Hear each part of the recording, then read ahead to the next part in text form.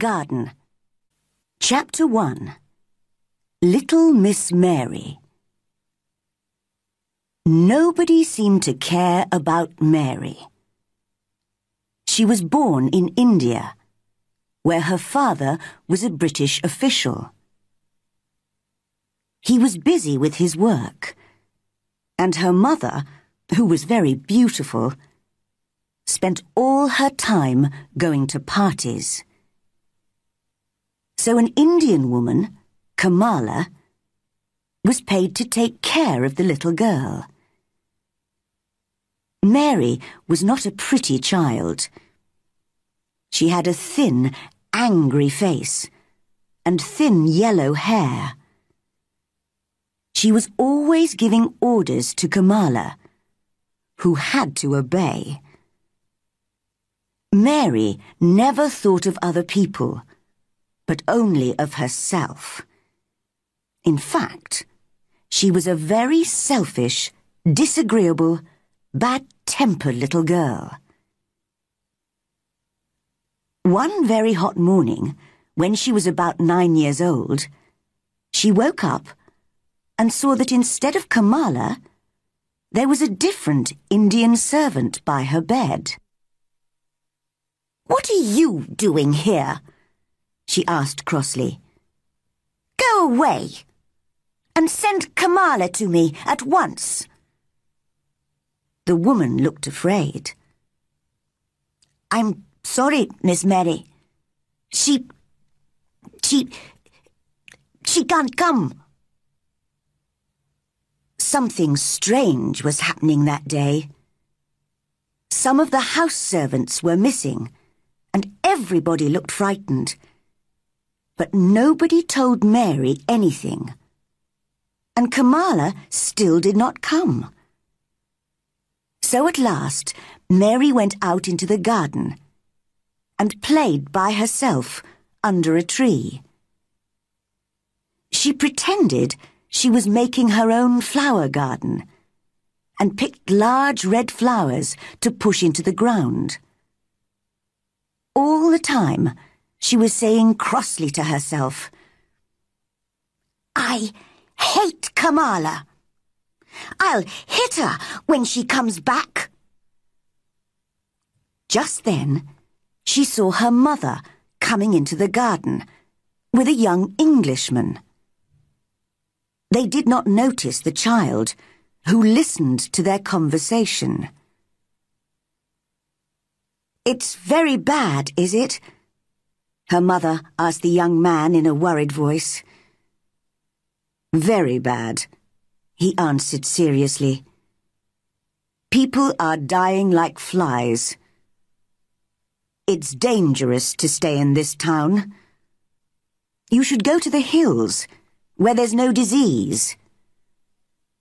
Oh, I know, she cried. We must leave soon.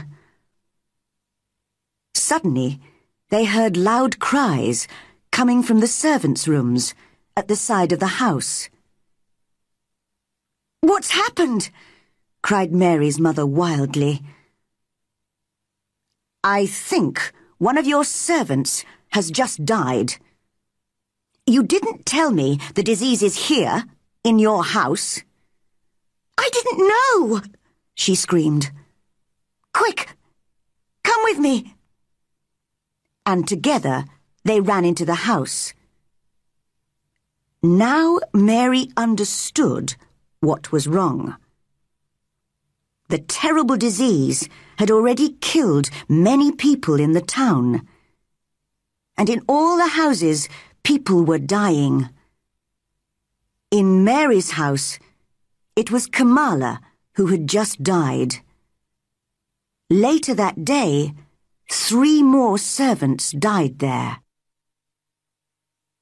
All through the night and the next day, people ran in and out of the house, shouting and crying. Nobody thought of Mary. She hid in her bedroom, frightened by the strange and terrible sounds that she heard around her. Sometimes she cried, and sometimes she slept. When she woke the next day, the house was silent. Perhaps the disease has gone, she thought, and everybody is well again. I wonder who will take care of me instead of Kamala. Why doesn't someone bring me some food? It's strange the house is so quiet. But just then, she heard men's voices in the hall. How sad, said one. That beautiful woman. There was a child, too, wasn't there? said the other. Although none of us ever saw her. Mary was standing in the middle of her room when they opened the door a few minutes later. The two men jumped back in surprise. My name is Mary Lennox, she said crossly. I was asleep when everyone was ill, and now I'm hungry. It's the child, the one nobody ever saw, said the older man to the other. They've all forgotten her. Why was I forgotten? asked Mary angrily. Why has nobody come to take care of me? The younger man looked at her very sadly. Poor child, he said. You see, there's nobody left alive in the house. So nobody can come. In this strange and sudden way, Mary learnt that both her mother and her father had died. The few servants who had not died had run away in the night. No one had remembered little Miss Mary. She was all alone.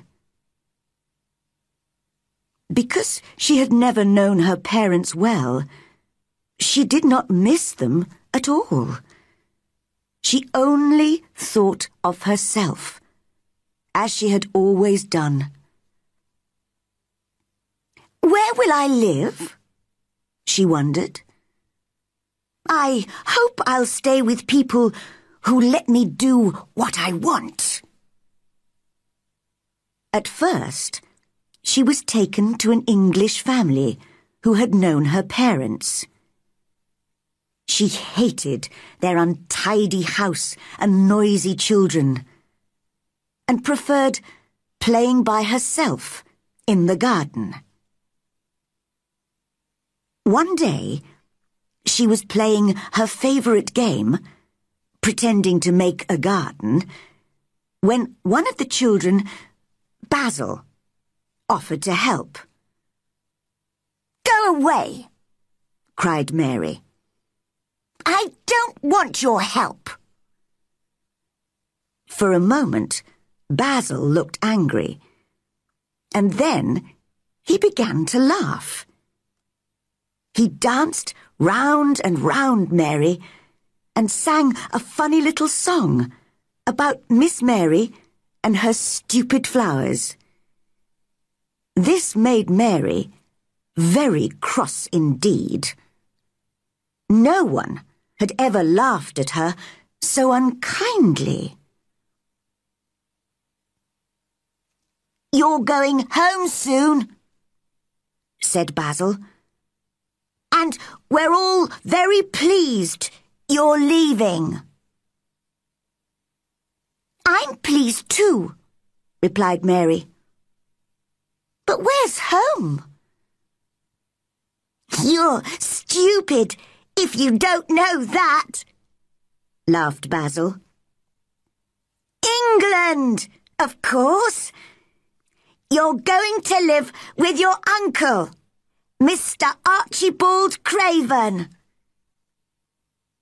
I've never heard of him, said Mary coldly. But I know about him Because I heard father and mother talking, said Basil. He lives in a big, lonely old house and has no friends because he's so bad-tempered. He's got a crooked back and he's horrid. I don't believe you, cried Mary.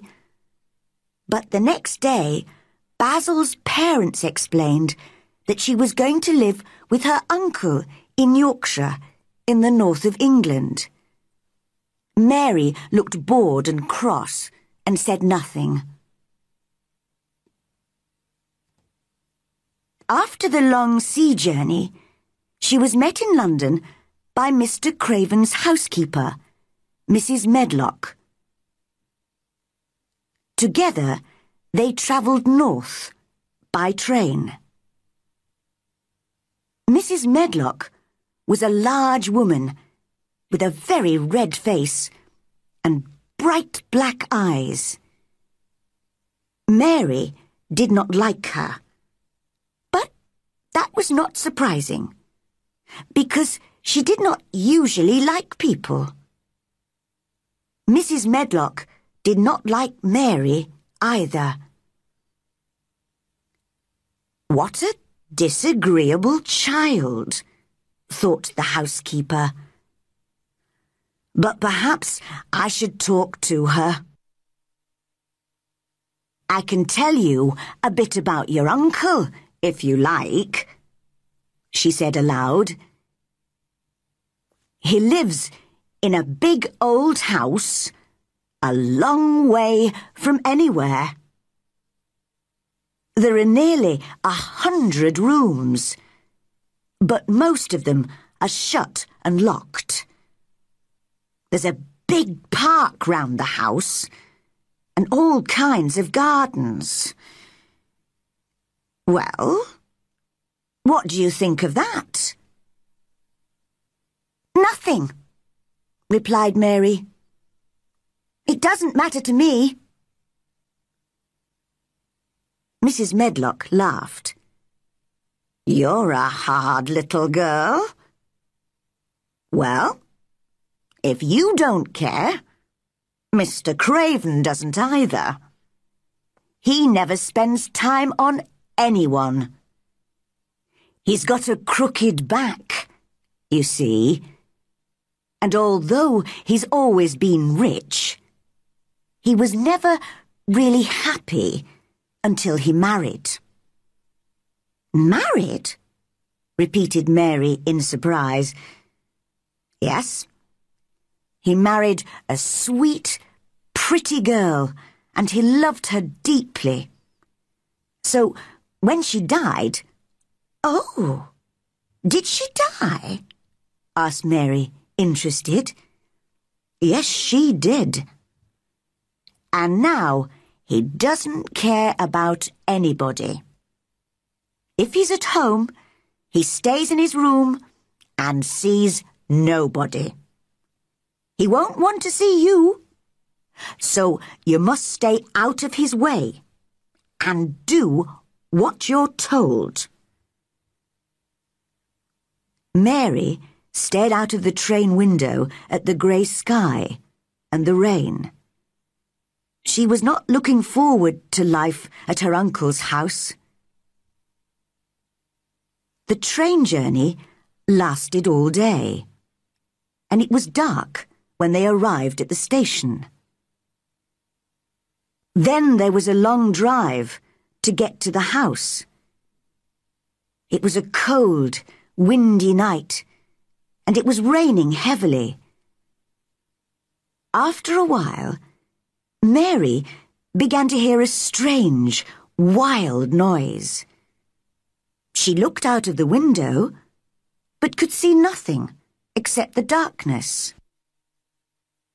What's that noise? she asked Mrs. Medlock. It's... it's...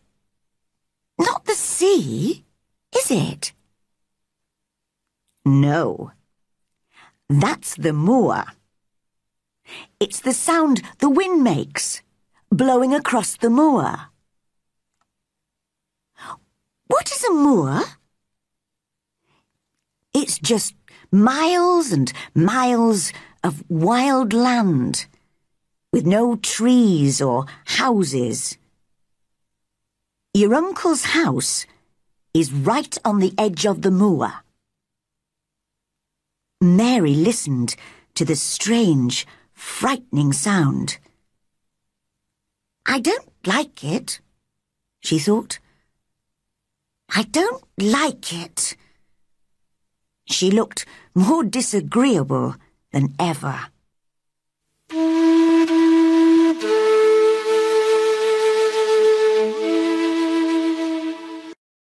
Chapter 2 Mary in Yorkshire They arrived at a very large old house. It looked dark and unfriendly from the outside. Inside, Mary looked around the big shadowy hall and felt very small and lost. They went straight upstairs. Mary was shown to a room where there was a warm fire and food on the table. This is your room, said Mrs. Medlock. Go to bed when you've had some supper. And remember, you must stay in your room. Mr. Craven doesn't want you to wander all over the house. When Mary woke up the next morning, she saw a young servant girl cleaning the fireplace.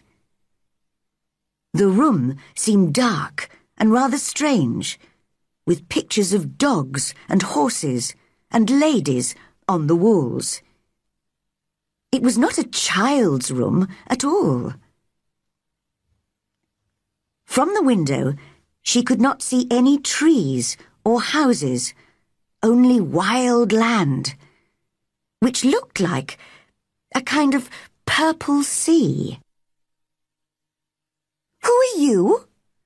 She asked the servant coldly.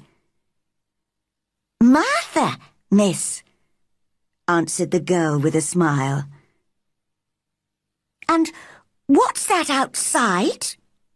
Mary continued. That's the moor, smiled Martha. Do you like it? No, replied Mary immediately. I hate it. That's because you don't know it. You will like it. I love it. It's lovely in spring and summer when there are flowers. It always smells so sweet. The air's so fresh and the birds sing so beautifully. I never want to leave the moor. Mary was feeling very bad-tempered. You're a strange servant, she said. In India, we don't have conversations with servants. We give orders, and they obey, and that's that. Martha did not seem to mind Mary's crossness. I know. I talk too much. She laughed. Are you going to be my servant? asked Mary. Well, not really. I work for Mrs. Medlock. I'm going to clean your room and bring you your food. But you won't need a servant except for those things. But who's going to dress me? Martha stopped cleaning and stared at Mary. The cannot dress this son? She asked, shocked. What do you mean? I don't understand your language. Oh, I forgot. We all speak the Yorkshire dialect here. But of course, you don't understand that. I meant to say, can't you put on your own clothes? Of course not. My servant always used to dress me. Well, I think you should learn to dress yourself. My mother always says people should be able to take care of themselves, even if they're rich and important. Little Miss Mary was furious with Martha. It's different in India, where I come from. You don't know anything about India, or about servants, or about anything. You. you. She could not explain what she meant. Suddenly, she felt very confused and lonely. She threw herself down on the bed and started crying wildly. Now, now, don't cry like that, Martha said gently.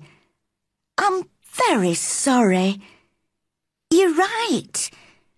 I don't know anything about anything. Please stop crying, miss. She sounded kind and friendly. And Mary began to feel better and soon stopped crying. Martha went on talking as she finished her cleaning. But Mary looked out of the window in a bored way and pretended not to listen. Mm. I've got eleven brothers and sisters, you know, miss. There's not much money in our house. And they all eat so much food. Mother says it's the good fresh air on the moor that makes them so hungry. My brother Dickon, he's always out on the moor. He's twelve, and he's got a horse, which he rides sometimes. Where did he get it? asked Mary. She had always wanted an animal of her own, and so she began to feel a little interest in Dickon. Oh, it's a wild horse. But he's a kind boy, and animals like him, you see. Now, you must have your breakfast, miss. Here it is, on the table. I don't want it, said Mary. I'm not hungry. What? cried Martha. My little brothers and sisters would eat all this in five minutes. Why? asked Mary coldly. Because they don't get enough to eat. That's why. And they're always hungry. You're very lucky to have the food, miss. Mary said nothing, but she drank some tea and ate a little bread. Now, put a coat on and run outside to play, said Martha. It'll do you good to be in the fresh air. Mary looked out of the window at the cold grey sky. Why should I go out on a day like this? she asked. Well, there's nothing to play with indoors, is there? Mary realized Martha was right. But who will go with me? she said. Martha stared at her. Nobody. You'll have to learn to play by yourself. Dickon plays by himself on the moors for hours, with the wild birds and the sheep and the other animals. She looked away for a moment. Perhaps I shouldn't tell you this, but... But... One of the walled gardens is locked up. Nobody's been in it for ten years. It was Mrs. Craven's garden. And when she died so suddenly, Mr. Craven locked it and buried the key. Oh, I must go. I can hear Mrs. Medlock's bell ringing for me. Mary went downstairs and wandered through the great empty gardens. Many of the fruit and vegetable gardens had walls round them, but there were no locked doors. She saw an old man digging in one of the vegetable gardens, but he looked cross and unfriendly, so she walked on. How ugly it all looks in winter, she thought. But what a mystery the locked garden is. Why did my uncle bury the key? If he loved his wife, why did he hate our garden? Perhaps I'll never know. I don't suppose I'll like him if I ever meet him. And he won't like me. So I won't be able to ask him. Just then, she noticed a robin singing to her from a tree on the other side of a wall. I think that tree's in the secret garden, she told herself. There's an extra wall here, and there's no way in. She went back to where the gardener was digging and spoke to him. At first, he answered in a very bad-tempered way. But suddenly, the robin flew down near them, and the old man began to smile. He looked a different person then, and Mary thought how much nicer people looked when they smiled. The gardener spoke gently to the robin, and the pretty little bird hopped on the ground near them. He's my friend, he is, said the old man.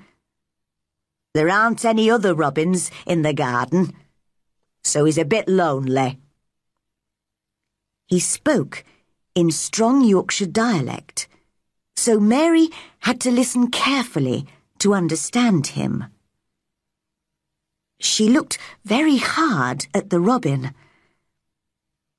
I'm lonely too, she said. She had not realized this before. What's your name? she asked the gardener. Ben Weatherstaff. I'm lonely myself. The robin's my only friend, you see. I haven't got any friends at all, said Mary. Yorkshire people always say what they are thinking. And old Ben was a Yorkshire moorman. We're alike, you and me, he told Mary. We're not pretty to look at, and we're both very disagreeable. Nobody had ever said this to Mary before. Am I really as ugly and disagreeable as Ben? She wondered. Suddenly, the robin flew to a tree near Mary and started singing to her. Ben laughed loudly. Well, he said, he wants to be your friend. Oh, would you please be my friend? She whispered to the robin. She spoke in a soft, quiet voice, and old Ben looked at her in surprise.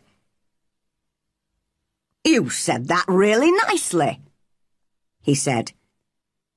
You sound like Dickon when he talks to animals on the moor. Do you know Dickon? Asked Mary. But just then, the robin flew away. Oh, look! He's flown into the garden with no door. Please, Ben, how can I get into it? Ben stopped smiling and picked up his spade. You can't. And that's that. It's not your business. Nobody can find the door. Run away and play, will you? I must get on with my work. And he walked away. He did not even say goodbye. In the next few days, Mary spent almost all her time in the gardens. The fresh air from the moor made her hungry, and she was becoming stronger and healthier. One day, she noticed the robin again. He was on top of a wall, singing to her. Good morning. Isn't this fun? Come this way, he seemed to say as he hopped along the wall. Mary began to laugh as she danced along beside him. I know the secret gardens on the other side of this wall, she thought excitedly. And the robin lives there. But where's the door? That evening, she asked Martha to stay and talk to her beside the fire after supper. They could hear the wind blowing round the old house, but the room was warm and comfortable. Mary only had one idea in her head. Tell me about the secret garden, she said. Well, all right then, miss. But we aren't supposed to talk about it, you know. It was Mrs. Craven's favourite garden. And she and Mr. Craven used to take care of it themselves. They spent hours there, reading and talking. Very happy they were. They used the branch of an old tree as a seat. But one day, when she was sitting on the branch, it broke and she fell. She was very badly hurt, and the next day, she died. That's why he hates the garden so much and won't let anyone go in there. How sad, said Mary. Poor Mr. Craven. It was the first time that she had ever felt sorry for anyone. Just then, as she was listening to the wind outside, she heard another noise in the house. Can you hear a child crying? she asked Martha. Martha looked confused. Uh, no, she replied. No, I think it must be the wind. But at that moment, the wind blew open their door, and they heard the crying very clearly. I told you, cried Mary. At once, Martha shut the door. It was the wind, she repeated.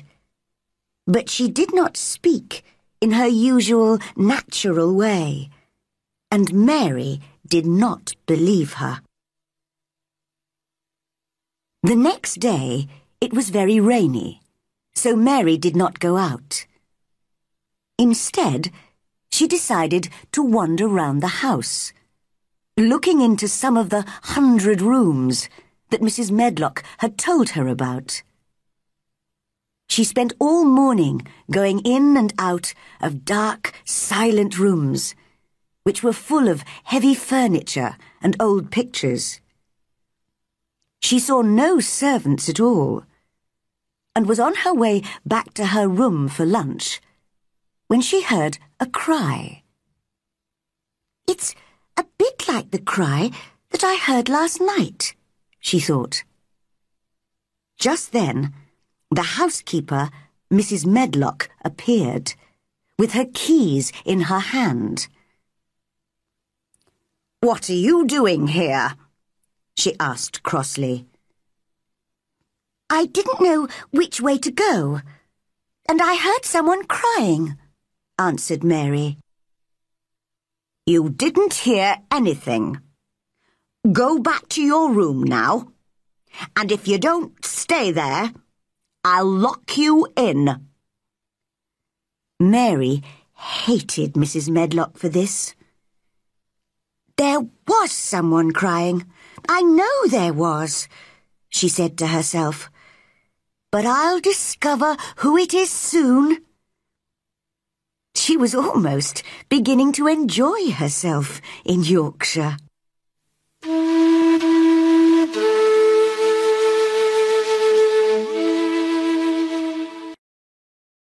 Chapter 3 Finding the Secret Garden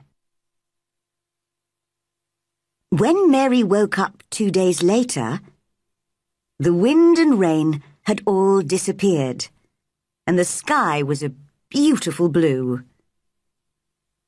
Spring'll be here soon, said Martha happily. You'll love the moor then, when it's full of flowers and birds. Could I get to the moor? asked Mary. You've never done much walking, have you? I don't think you could walk the five miles to our cottage. But I'd like to meet your family, Mary said. Martha looked at the little girl for a moment. She remembered how disagreeable Mary had been when she first arrived. But now, Mary looked interested and friendly. I'll ask Mother, said Martha. She can always think of a good plan. She's sensible and hard-working and kind. I know you like her. I like Dickon, although I've never seen him. I wonder what Dickon will think of you. He won't like me, said Mary. No one does. But do you like yourself? That's what Mother would ask. No, not really. I've never thought of that. Well, I must go now. It's my day off. So I'm going home to help Mother with the housework. Goodbye, miss. See you tomorrow. Mary felt lonelier than ever when Martha had gone so she went outside. The sunshine made the gardens look different. And the change in the weather had even made Ben Weatherstaff easier to talk to.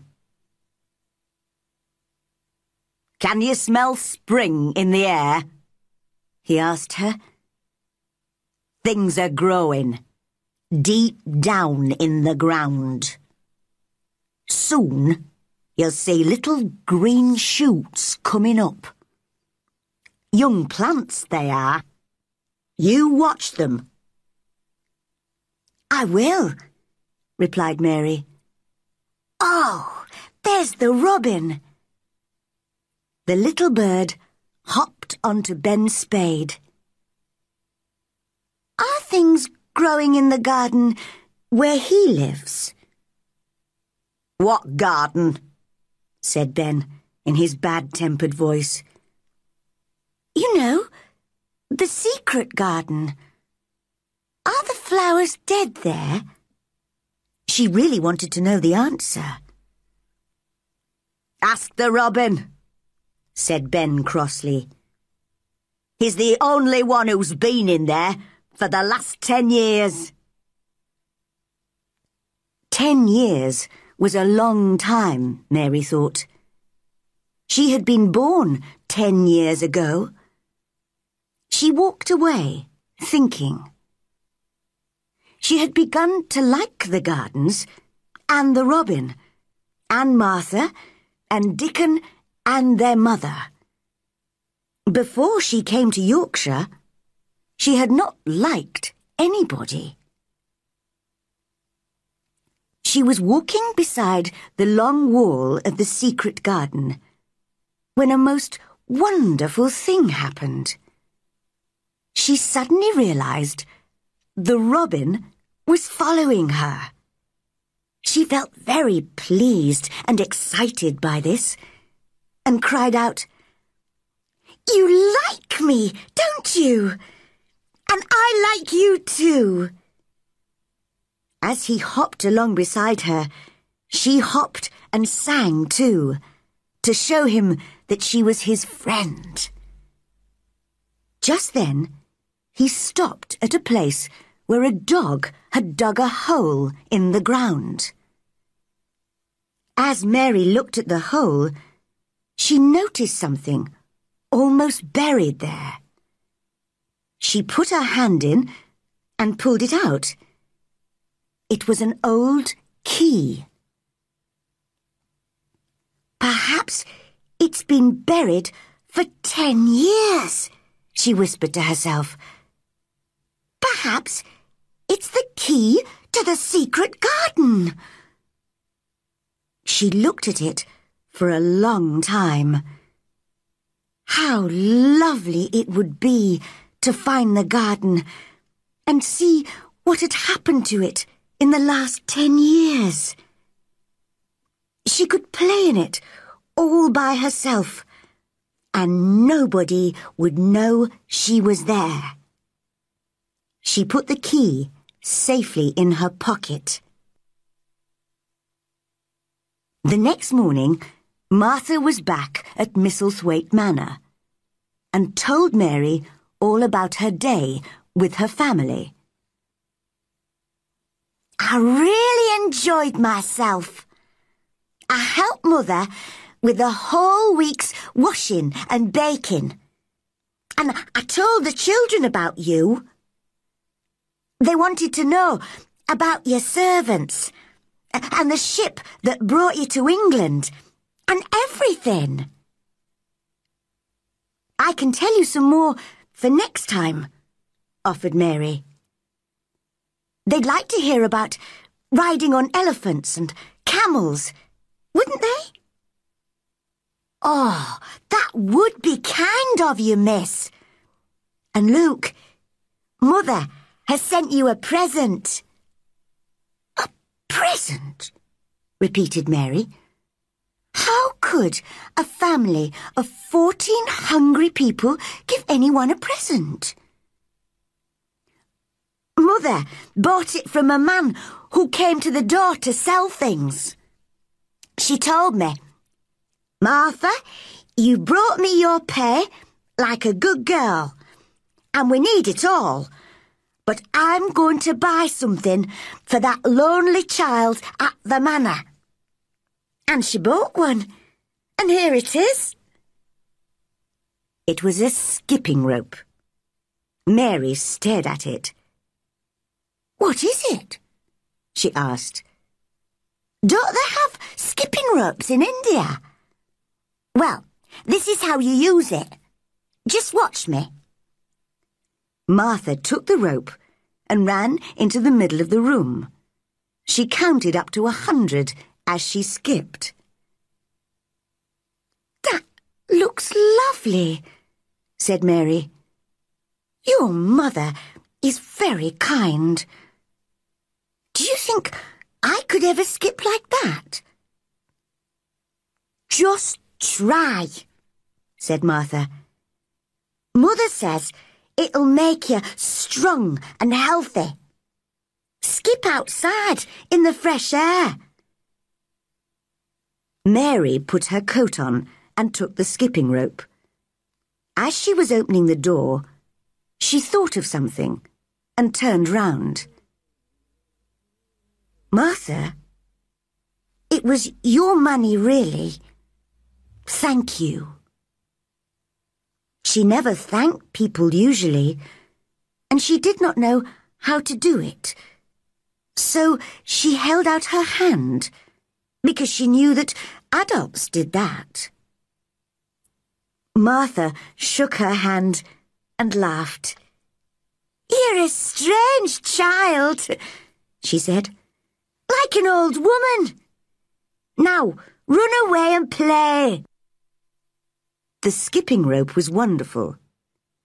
Mary counted and skipped, skipped and counted until her face was hot and red.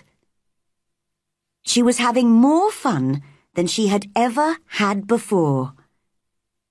She skipped through the gardens until she found Ben Weatherstaff, who was digging and talking to his robin. She wanted them both to see her skip. Well, said Ben, you're looking fine and healthy today. Go on skipping. It's good for you. Mary skipped all the way to the secret garden wall. And there was the robin. He had followed her. Mary was very pleased. You showed me where the key was yesterday, she laughed. I've got it in my pocket. So, you ought to show me the door today. The robin hopped onto an old climbing plant on the wall and sang his most beautiful song. Suddenly, the wind made the plant move and Mary saw something under the dark green leaves. The thick, heavy plant was covering a door. Mary's heart was beating fast, and her hands were shaking as she pushed the leaves away and found the keyhole. She took the key out of her pocket, and it fitted the hole. Using both hands, she managed to unlock the door. Then she turned round to see if anyone was watching. But there was no one. So she pushed the door, which opened slowly for the first time in ten years. She walked quickly in and shut the door behind her. At last, she was inside the secret garden. It was the loveliest, most exciting place she had ever seen. There were old rose trees everywhere, and the walls were covered with climbing roses. She looked carefully at the grey branches were the roses still alive? Ben would know. She hoped they weren't all dead.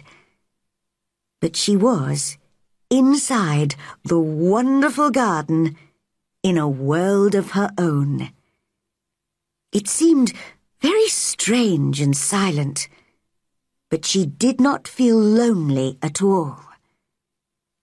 Then she noticed some small green shoots coming up through the grass. So something was growing in the garden, after all.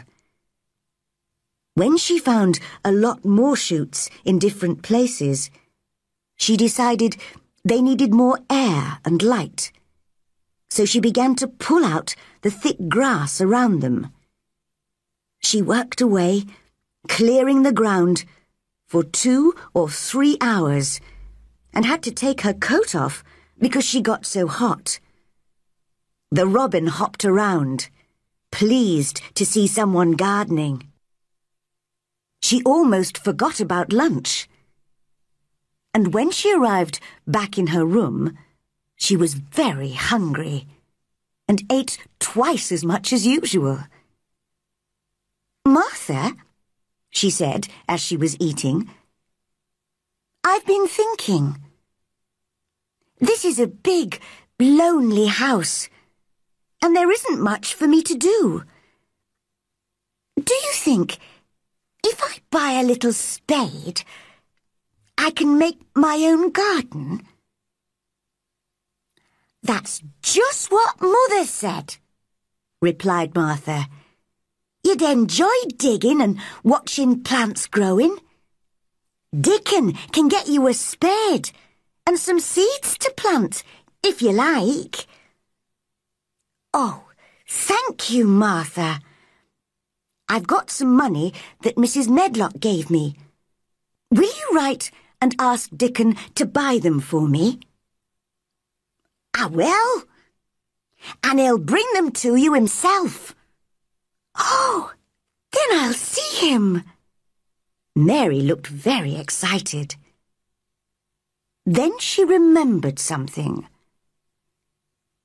I heard that cry in the house again, Martha. It wasn't the wind this time. I've heard it three times now. Who is it? Martha looked uncomfortable. You mustn't go wandering around the house, you know. Mr. Craven wouldn't like it. Now, I must go and help the others downstairs. I'll see you at tea time. As the door closed behind Martha, Mary thought to herself, This really is the strangest house that anyone ever lived in.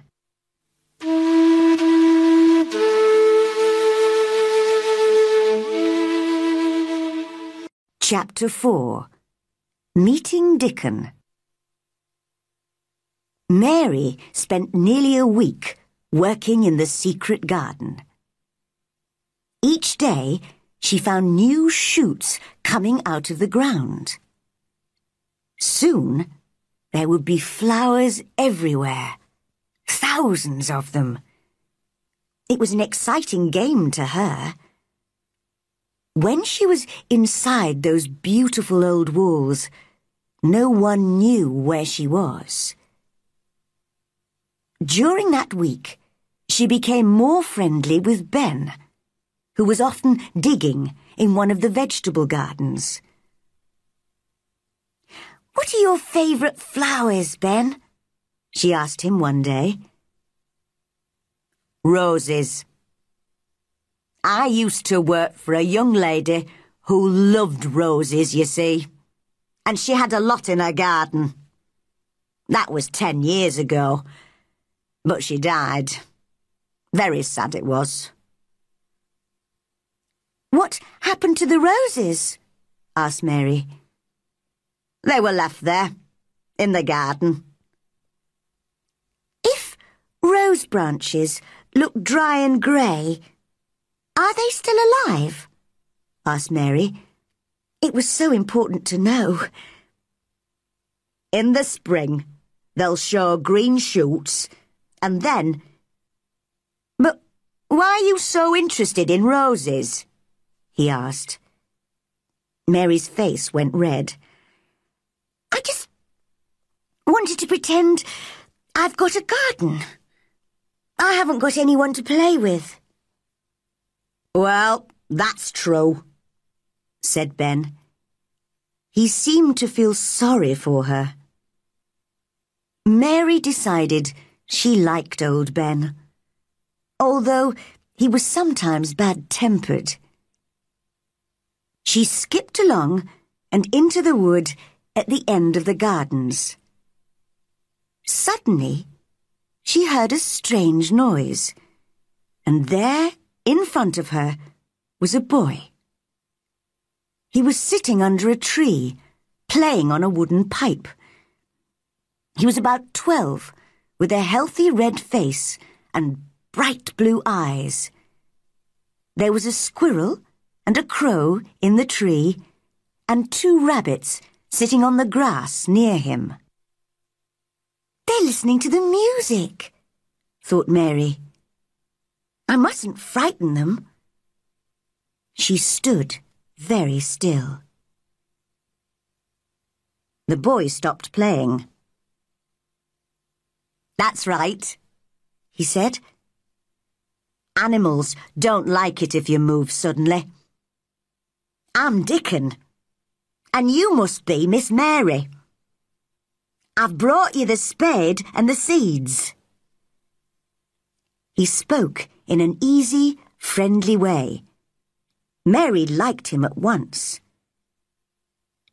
As they were looking at the seed packets together, the robin hopped onto a branch near them. Dickon listened carefully to the robin's song. He's saying he's your friend, he told Mary. Really? Oh, I am pleased he likes me. Can you understand everything that birds say? I think I do, and they think I do. I've lived on the moor with them for so long. Sometimes I think I am a bird or an animal, not a boy at all. His smile was the widest she had ever seen. He explained how to plant the seeds. Suddenly, he said, I can help you plant them. Where's your garden? Mary went red, then white. She had never thought of this. What was she going to say? Could you keep a secret? It's a great secret. If anyone discovers it, I'll... I'll die. I keep secrets for all the wild birds and animals on the moor. So I can keep yours too, he replied. I've stolen a garden, she said very fast. Nobody goes into it. Nobody wants it. I love it, and nobody takes care of it. They're letting it die. And she threw her arms over her face and started crying. Don't cry, said Dickon gently. Where is it? Come with me, and I'll show you, said Miss Mary. They went to the secret garden and entered it together.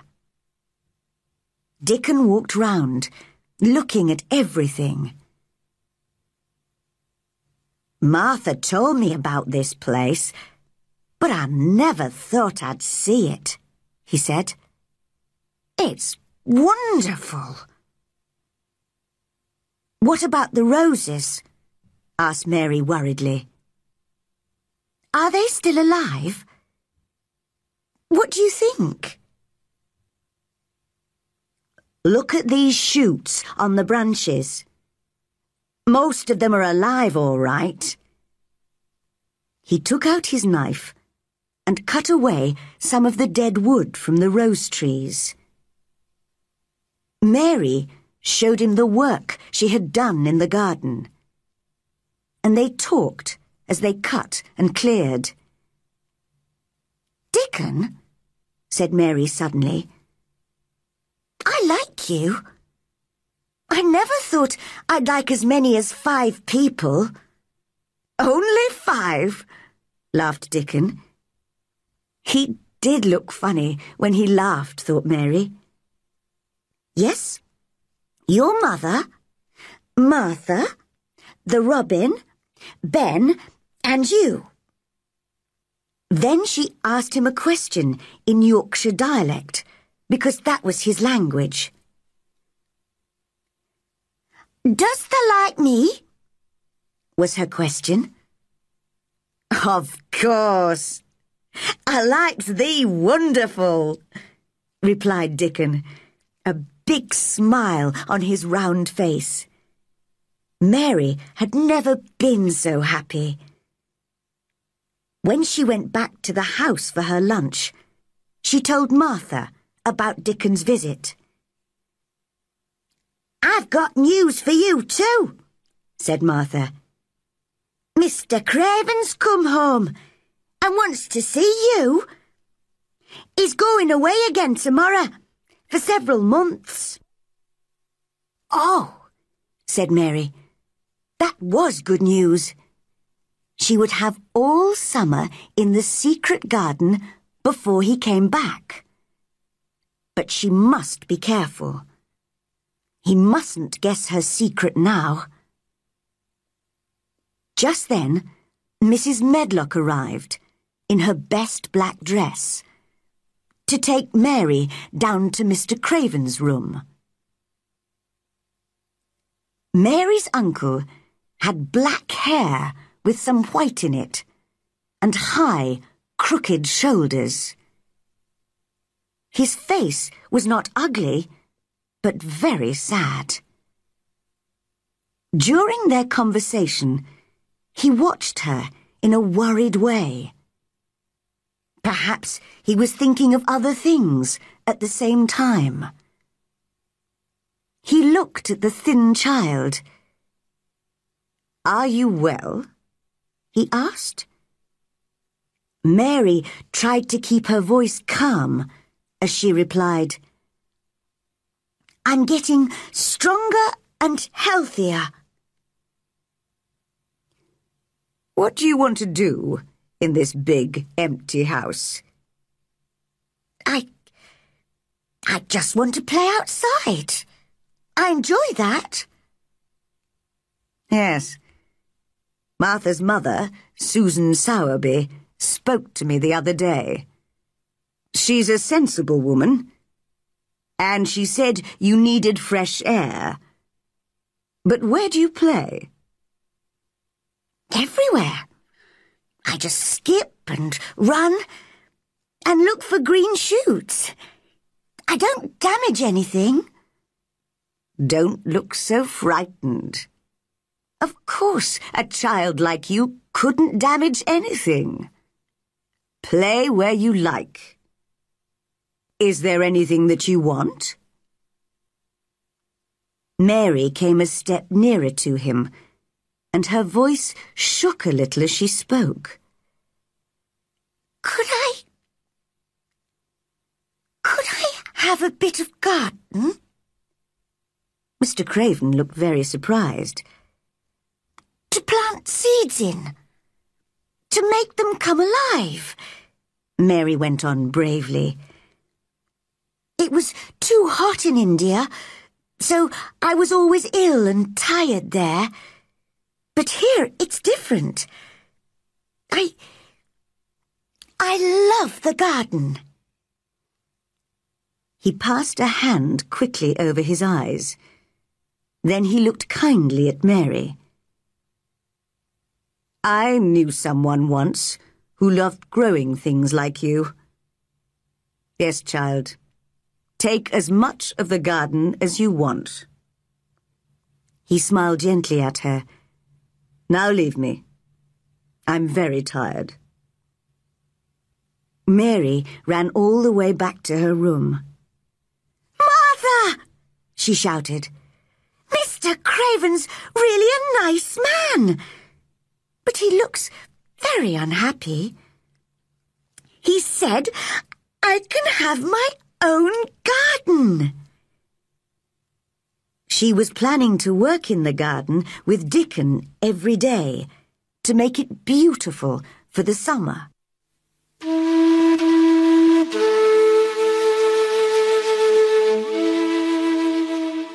Chapter 5 Meeting Colin In the middle of the night, Mary woke up. Heavy rain had started falling again, and the wind was blowing violently round the walls of the old house. Suddenly, she heard crying again. This time, she decided to discover who it was. She left her room and in the darkness followed the crying sound, round corners and through doors, up and down stairs, to the other side of the big house. At last, she found the right room. She pushed the door open and went in. It was a big room with beautiful old furniture and pictures. In the large bed was a boy who looked tired and cross, with a thin, white, tearful face. He stared at Mary. Who are you? He whispered. Are you a dream? No, I'm not. I'm Mary Lennox. Mr. Craven's my uncle. He's my father, said the boy. I'm Colin Craven. No one ever told me he had a son, said Mary, very surprised. Well, no one ever told me you'd come to live here. I'm ill, you see. I don't want people to see me and talk about me. If I live, I may have a crooked back like my father, but I'll probably die. What a strange house this is, said Mary. So many secrets. Does your father come and see you often? Not often. He doesn't like seeing me because it makes him remember my mother. She died when I was born. So he almost hates me, I think. Why do you say you're going to die? asked Mary. I've always been ill. I've nearly died several times. And my back's never been strong. My doctor feels sure that I'm going to die. But he's my father's cousin and very poor. So he'd like me to die. Then he'd get all the money when my father dies. He gives me medicine and tells me to rest. We had a grand doctor from London once who told me to go out in the fresh air and try to get well. But I hate fresh air. And another thing. All the servants have to do what I want. Because if I'm angry, I become ill. Mary thought she liked this boy, although he seemed so strange. He asked her lots of questions, and she told him all about her life in India. How old are you? he asked suddenly. I'm ten, and so are you, replied Mary, forgetting to be careful because when you were born, the garden door was locked and the key was buried. And I know that was ten years ago. Colin sat up in bed and looked very interested. What door? Who locked it? Where's the key? I want to see it.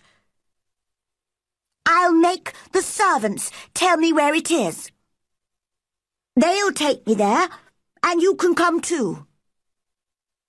Oh, please don't. Don't do that, cried Mary. Colin stared at her. Don't you want to see it? Yes, but if you make them open the door, it will never be a secret again. You see, if only we know about it, if we... If we can find the key, we can go and play there every day. We can help the garden come alive again. And no one will know about it except us. I see, said Colin slowly. Yes, I'd like that. It'll be our secret. I've never had a secret before. And perhaps, added Mary cleverly, we can find a boy to push you in your wheelchair if you can't walk. And we can go there together without any other people. You'll feel better outside. I know I do. I'd like that, he said dreamily. I think I'd like fresh air in a secret garden. Then Mary told him about the moor and Dickon and Ben Weatherstaff and the robin. And Colin listened to it all with great interest. He began to smile and look much happier. I like having you here, he said. You must come and see me every day. But I'm tired now. I'll sing you a song. My servant Kamala used to do that in India, said Mary. And very soon Colin was asleep. The next afternoon, Mary visited Colin again, and he seemed very pleased to see her. He had sent his nurse away and had told nobody about Mary's visit. Mary had not told anybody either. They read some of his books together and told each other stories. They were enjoying themselves and laughing loudly when suddenly the door opened. Dr. Craven and Mrs. Medlock came in. They almost fell over in surprise. What's happening here? asked Dr. Craven. Colin sat up straight. To Mary, he looked just like an Indian prince. This is my cousin, Mary Lennox, he said calmly. I like her. She must visit me often. Oh, I'm sorry, sir, said poor Mrs. Medlock to the doctor. I don't know how she discovered him. I told the servants to keep it a secret. Don't be stupid, Medlock, said the Indian prince coldly. Nobody told her. She heard me crying and found me herself. Bring our tea up now. I'm afraid you're getting too hot and excited, my boy, said Dr. Craven. That's not good for you. Don't forget you're ill. I want to forget, said Colin. I'll be angry if Mary doesn't visit me. She makes me feel better. Dr. Craven did not look happy when he left the room. What a change in the boy, sir, said the housekeeper. He's usually so disagreeable with all of us. He really seems to like that strange little girl. And he does look better. Dr. Craven had to agree.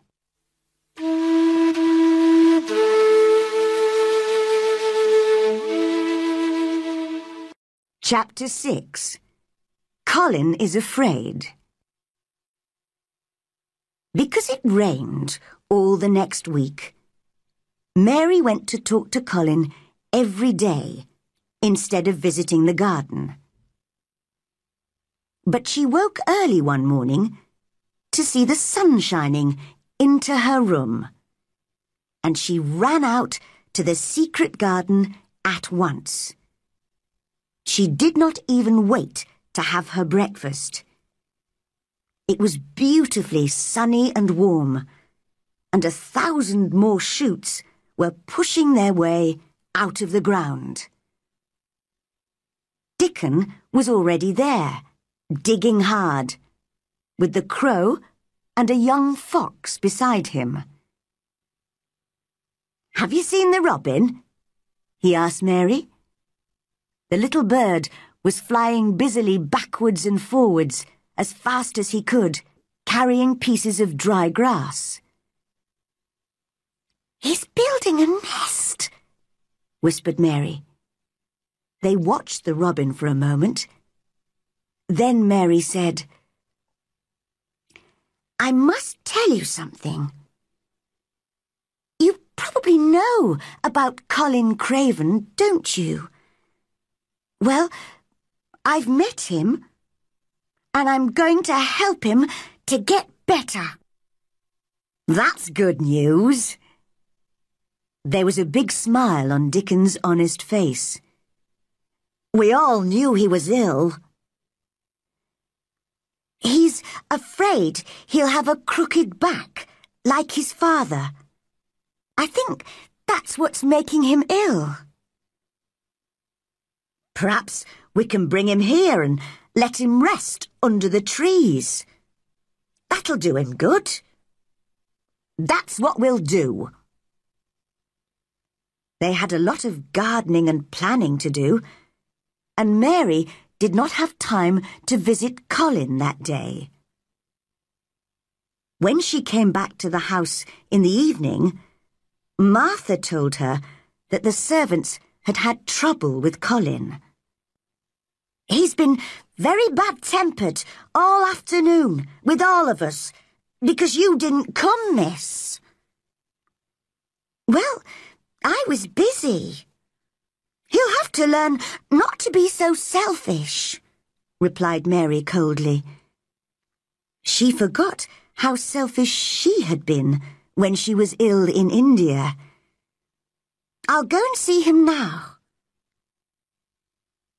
When she went into his room, he was lying in bed, looking tired.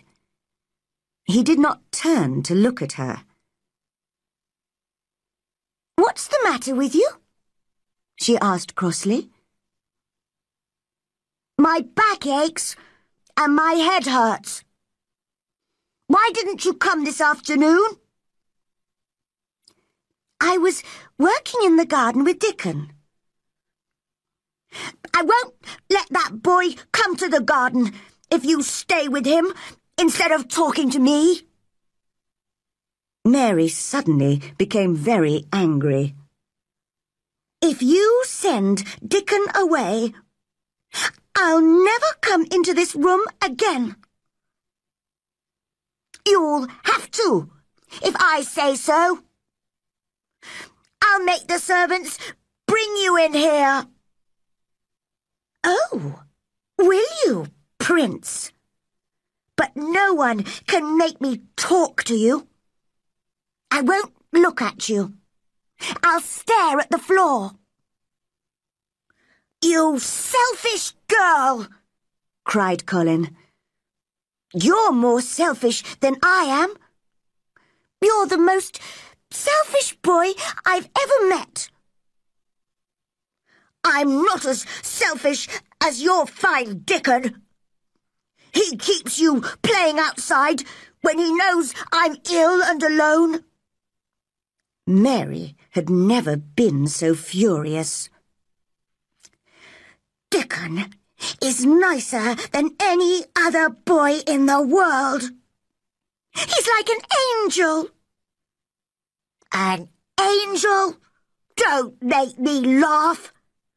He's just a poor country boy with holes in his shoes. He's a thousand times better than you are. Colin had never argued with anyone like himself in his life, and in fact, it was good for him. But now, he was beginning to feel sorry for himself. I'm always ill, he said, and started to cry. I'm sure my back is a bit crooked, and I'm going to die. No, you're not, said Mary crossly. Colin opened his eyes very wide. Nobody had said that to him before. He was angry, but a bit pleased at the same time. What do you mean? You know I'm going to die. Everybody says I'm going to die. I don't believe it, said Mary in her most disagreeable voice. You just say that to make people feel sorry for you. You're too horrid to die. Colin forgot about his painful back and sat up in bed. Get out of the room at once! He shouted and threw a book at her. I'm going, Mary shouted in reply. And I won't come back. The door banged shut behind her. When she reached her own room, she had decided never to tell him her great secret. He can stay in his room and die if he wants, she thought. But soon she began to remember how ill he had been and how frightened he was. Frightened that one day his back would become as crooked as his father's. Perhaps... Perhaps I'll go back and see him tomorrow. That night, she was woken by the most terrible screams that she had ever heard. Servants were opening and shutting doors and running about. It's Colin, thought Mary. He'll go on screaming until he makes himself really ill. How selfish he is. Somebody should stop him. Just then, Martha ran into the room. We don't know what to do, she cried. He likes you, miss. Come and see if you can make him calmer, please. Well, I'm very cross with him, said Mary, and jumped out of bed. I'm going to stop him. That's right, said Martha. He needs someone like you to argue with. It'll give him something new to think about.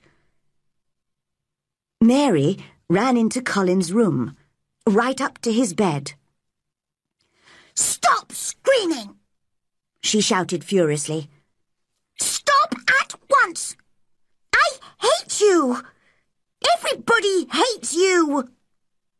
You'll die if you go on screaming like this! And I hope you will!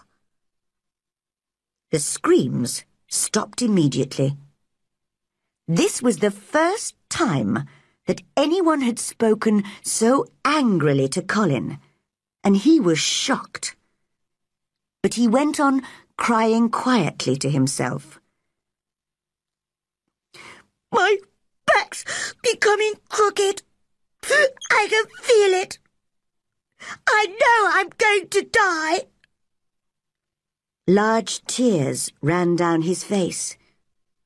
Don't be stupid, cried Mary. There's nothing the matter with your horrid back. Martha, come here and let me look at his back. Martha and Mrs. Medlock were standing at the door, staring at Mary, their mouths half open. They both looked very frightened. Martha came forward to help, and Miss Mary looked carefully at Colin's thin white back, up and down. Her face was serious and angry at the same time. The room was very quiet. There's nothing wrong with your back, she said at last. Nothing at all. It's as straight as mine. Only Colin knew how important those crossly spoken, childish words were. All his life he had been afraid to ask about his back, and his terrible fear had made him ill. Now an angry little girl told him his back was straight, and he believed her. He was no longer afraid. They were both calmer now. He gave Mary his hand. I think. I'm almost sure I will live. If we can go out in the garden together sometimes. I'm very tired now. Will you stay with me until I go to sleep? The servants went out very quietly. I'll tell you all about the secret garden, whispered Mary. I think it's full of roses and beautiful flowers. Birds like making their nests there because it's so quiet and safe. And perhaps our Robin... But Colin was already asleep. The next day, Mary met Dickon as usual in the secret garden and told him about Colin. Mary loved Dickon's Yorkshire dialect and was trying to learn it herself. She spoke a little now. We mun get poor Colin out here in th sunshine, and we munnot lose no time about it. Dickon laughed. Well done! I didn't know you could speak Yorkshire. You're right.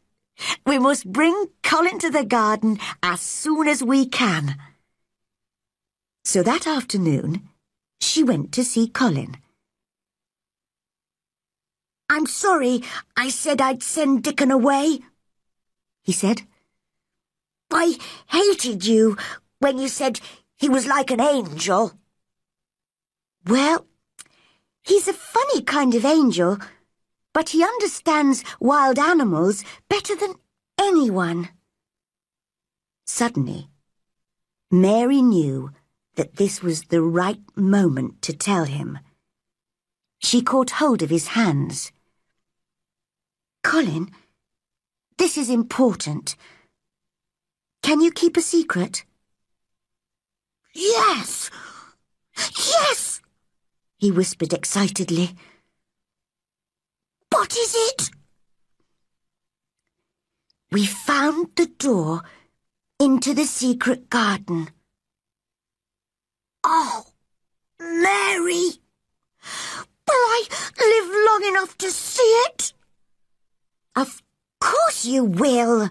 Don't be stupid, said Mary crossly. But it was a very natural thing to say, and they both laughed. Colin told Mrs. Medlock and the doctor that he wanted to go out in his wheelchair. At first, the doctor was worried the boy would get too tired. But when he heard that Dickon would push the wheelchair, he agreed. Dickon's a sensible boy, he told Colin. But don't forget. I've told you. I want to forget that I'm ill, said Colin in his prince's voice. Don't you understand? It's because my cousin makes me forget that I feel better when I'm with her.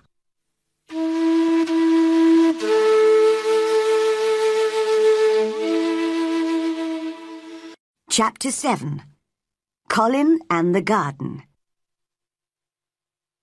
Of course, it was most important that no one should see Colin, Mary, or Dickon entering the secret garden. So Colin gave orders to the gardeners that they must all keep away from that part of the garden in future.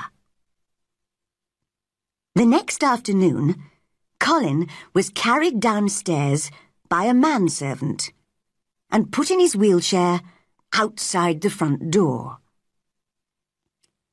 Dickon arrived with his crow, two squirrels, and the fox, and started pushing the wheelchair gently away from the house and into the gardens.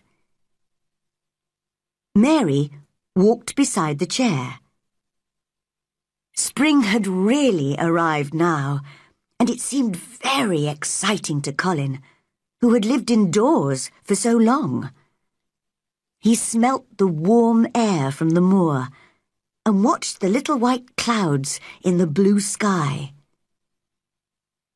In a very short time, he heard Mary say, This is where I found the key.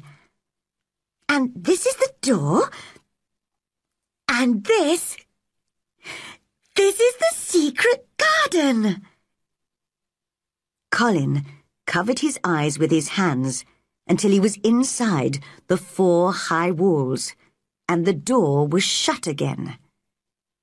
Then he looked round at the roses climbing the old red walls, the pink and white flowers on the fruit trees, and the birds and the butterflies everywhere. The sun warmed his face, and he suddenly knew he felt different. Mary! Dickon! he cried. I'm going to get better. I'm going to live forever and ever and ever. As Dickon pushed the wheelchair all round the garden, he told Colin the names of all the plants. The sun shone, the birds sang, and in every corner of the garden there was something interesting to look at. The three children talked and laughed, and by the end of the afternoon, all three were speaking Yorkshire together. I'll come back here every afternoon, said Colin. I want to watch things growing. Soon You'll be strong enough to walk and dig. You'll be able to help us with the gardening, said Dickon kindly. Do you really think I'll be able to... to walk and dig? asked Colin. Of course you will. You got legs like us. But they're not very strong, answered Colin. They shake and... and I'm afraid to stand on them. When you want to use them, you'll be able to, said Dickon. The garden was quiet for a moment. Suddenly Colin said, Who's that? Mary turned her head and noticed Ben Weatherstaff's angry face looking at her over the garden wall. What are you doing in that garden, young miss? He shouted. He had not seen Colin or Dickon. The robin showed me the way, Ben, she replied. You! You! He stopped shouting, and his mouth dropped open as he saw Dickon pushing a boy in a wheelchair over the grass towards him know who I am? asked the boy in the chair. Old Ben stared. You've got your mother's eyes, he said in a shaking voice. Yes, I know you. You're Mr. Craven's son, the little boy with a crooked back. Colin forgot that he had ever had backache. My back's as straight as yours is, he shouted. Ben stared and stared. He only knew what he had heard from the servants. You haven't got a crooked back? he asked. Or crooked legs? That was too much. Colin was furious, and it made him feel strong. Come here, Dickon, he shouted, and threw off his blanket. Dickon was by his side in a second. Mary felt sick with fear. Could Colin stand? Then Colin's thin feet were on the grass, and he was standing, holding Dickon's arm. He looked strangely tall, and he held his head very high. Look at me! He shouted at Ben. Just look at me! He's as straight as any boy in Yorkshire, said Dickon. Tears were running down Ben's brown old face. They said you were going to die, he whispered. Well, you can see that's not true, said Colin. Now, get down from the wall and come here. I want to talk to you. You've got to help us keep the garden a secret. Yes, sir, said old Ben as he dried his eyes. That was the first of many beautiful afternoons in the secret garden. Colin was brought there by Dickon and Mary nearly every day, and he saw all the changes that happen there during the spring and early summer. Ben Weatherstaff, now in the secret, joined them as often as he could. One day, Colin spoke to all of them. Listen, everybody. I think there's something like magic that makes gardens grow and things happen. Perhaps, if I believe in it, the magic will make me strong. Let's all sit down in a circle and ask the magic to work. So they all sat on the grass in a circle. Dickon with his crow, his fox, and the two squirrels, Mary, Colin, and Ben. Colin repeated these words several times. The sun's shining. That's the magic. Being strong. That's the magic. Magic. Help me. Magic. Help me. At last, Colin stopped. Now, I'm going to walk round the garden, he said, and took Dickon's arm. Slowly, he walked from one wall to another, followed closely by Mary and Ben. And when he had walked all the way round, he said, You see? I can walk now. The magic worked. It's wonderful, cried Mary. Your father will think he's dreaming when he sees you. I won't tell him yet. I'm going to keep it a secret from everybody. I'll come to the garden and walk and run a little more every day until I'm as healthy as any other boy. Then, when my father comes home, I'll walk up to him and say, Here I am, father. You see? I'm not going to die. Now began a difficult time for Colin and Mary. Dickon told his mother about it one evening as he was digging the cottage garden. You see, Mother, they don't want the doctor or the servants to guess that Colin can walk and is getting better.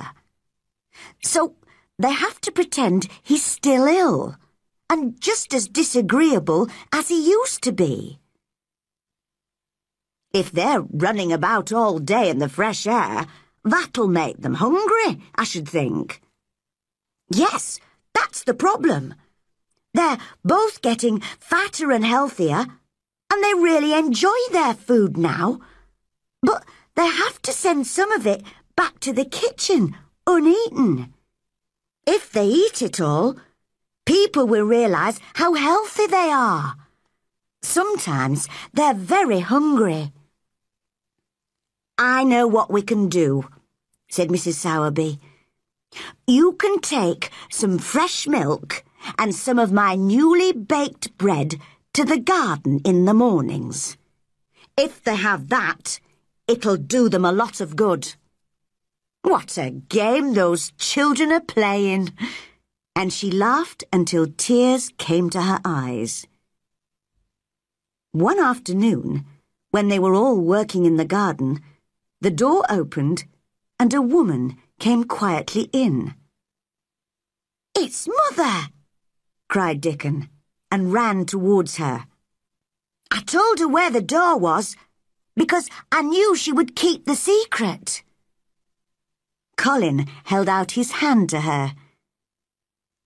I've wanted to see you for a long time, he said. Dear boy, Susan Sowerby whispered, holding his hand. You're so like your mother. Do you think, asked Colin carefully, that will make my father like me? I'm sure it will, she answered warmly. He must see you. He must come home now. You see how healthy the boy is, Susan? asked old Ben. Look how strong and straight his legs are now.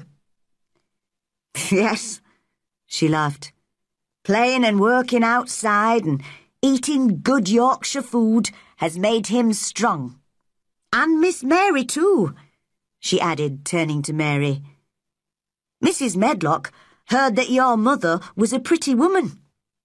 You'll soon be as pretty as she was. Do you believe in magic? Colin asked her. I do, she answered. But everybody gives it a different name. It makes the sun shine and the seeds grow, and it has made you healthy. She sat down on the grass and stayed for a while, talking and laughing with the children in the quiet, sunny garden. When she stood up to leave, Colin suddenly put out a hand to her. I wish you were my mother, he whispered. Mrs. Sowerby put her arms round him and held him to her. Dear boy, you're as close to your mother as you could be, here in her garden and your father'll come back soon.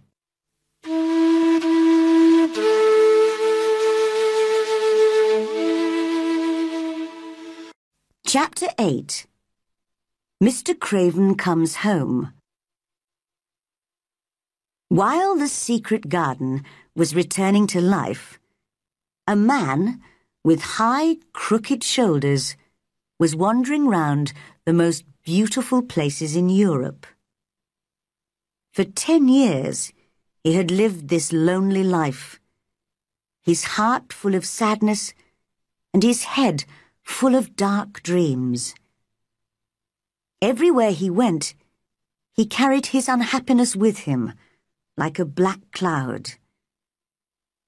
Other travellers thought he was half mad, or a man who could not forget some terrible crime. His name was Archibald Craven. But one day, as he sat by a mountain stream, he actually looked at a flower, and for the first time in ten years, he realized how beautiful something living could be. The valley seemed very quiet as he sat there, staring at the flower. he felt strangely calm. What is happening to me? He whispered. I feel different. I almost feel I'm alive again. At that moment, hundreds of miles away in Yorkshire, Colin was seeing the secret garden for the first time and saying, I'm going to live forever and ever and ever. But Mr. Craven did not know this. That night, in his hotel room, he slept better than usual. As the weeks passed, he even began to think a little about his home and his son. One evening in late summer, as he was sitting quietly beside a lake, he felt the strange calmness again. He fell asleep and had a dream that seemed very real. He heard a voice calling him. It was sweet and clear and happy. The voice of his young wife. Archie! Archie! Archie! My dear. He jumped up. Where are you? In the garden, called the beautiful voice. And then the dream ended. In the morning, when he woke, he remembered the dream. She says she's in the garden, he thought. But the door's locked, and the key's buried. That morning, he received a letter from Susan Sowerby. In it, she asked him to come home. But she did not give a reason. Mr. Craven thought of his dream and decided to return to England immediately. On the long journey back to Yorkshire, he was thinking about Colin. I wonder how he is. I wanted to forget him because he makes me think of his mother. He lived, and she died. But perhaps I've been wrong. Susan Sowerby says I should go home. So perhaps she thinks I can help him. When he arrived home, he found the housekeeper very confused about Colin's health. He's very strange, sir, said Mrs. Medlock. He looks better, it's true. But some days he eats nothing at all, and other days he eats just like a healthy boy. He used to scream even at the idea of fresh air, but now he spends all his time outside in his wheelchair with Miss Mary and Dickon Sowerby. He's in the garden at the moment. In the garden? Repeated Mr. Craven. Those were the words of the dream. He hurried out of the house and towards the place which he had not visited for so long. He found the door with a climbing plant over it and stood outside, listening for a moment. Surely I can hear voices inside the garden, he thought. Aren't there children whispering, laughing, running in there? Or am I going mad? And then the moment came when the children could not stay quiet. There was wild laughing and shouting, and the door was thrown open. A boy ran out a tall, healthy, handsome boy, straight into the man's arms. Mr. Craven stared into the boy's laughing eyes. Who? What? Who? he cried. Colin had not planned to meet his father like this. But perhaps this was the best way to come running out with his cousin and his friend. Father, he said, I'm Colin. You can't believe it. I can't believe it myself. It was the garden, and Mary and Dickon, and the magic that made me well. We've kept it a secret up to now. Aren't you happy, Father? I'm going to live forever and ever and ever. Mr. Craven put his hands on the boy's shoulders. For a moment he could not speak.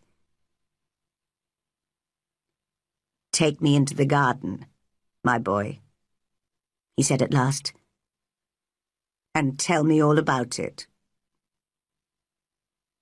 And in the secret garden, where the roses were at their best, and the butterflies were flying from flower to flower in the summer sunshine, they told Colin's father their story. Sometimes he laughed, and sometimes he cried. But most of the time, he just looked, unbelieving, into the handsome face of the son that he had almost forgotten. Now, said Colin at the end, it isn't a secret any more. I'll never use the wheelchair again. I'm going to walk back with you, Father to the house. And so, that afternoon, Mrs. Medlock, Martha, and the other servants had the greatest shock of their lives. Through the gardens, towards the house, came Mr. Craven, looking happier than they had ever seen him. And by his side, with his shoulders straight, his head held high, and a smile on his lips, walked young Colin.